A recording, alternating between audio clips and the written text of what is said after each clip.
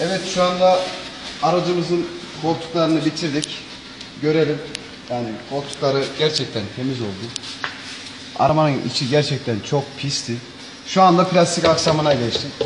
Şimdi bu plastik aksamı gerçekten bak ben temizlerken bile vallahi zevk alıyorum. Billahi zevk alıyorum. Yani şimdi şuraya bakın hiçbir kimyasal yok arkadaşlar. E zaten bu işi yapıyorsam ben açık ve öz konuşuyorum. Önce Fivax'ın yani işimin %50'sini Fi- Fivax'a borçluyum. %50'sini de kendi emeğime borçluyum. Görüyorsunuz zaten. Şu akan kire görüyorsunuz değil mi? Yani bu özellikle siyah arabalarda çok bellidir mesela bakın. Ama bu ne? Yani beş, beyaz olan arabalarda çok belli.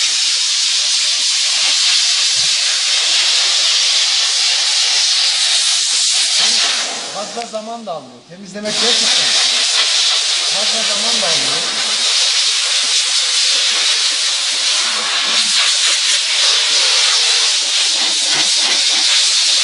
Önce ne yapıyoruz? Önce buharımızı tutuyoruz.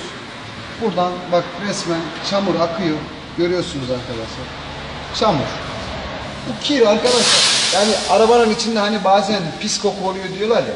ya insan olarak düşün. İnsan terlediği zaman hiç kendi rahatsız oluyor. İşte araba da böyle kirli olduğu zaman içinde koku oluyor arkadaşlar. Gerçekten.